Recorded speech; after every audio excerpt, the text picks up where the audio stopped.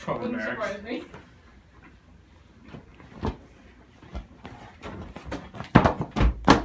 Nah.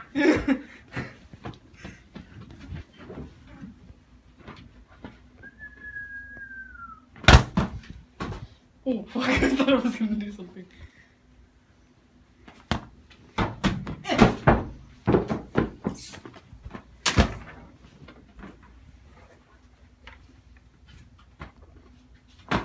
I'm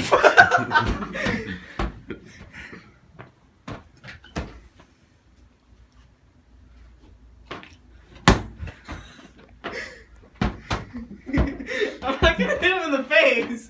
Just gently going over him.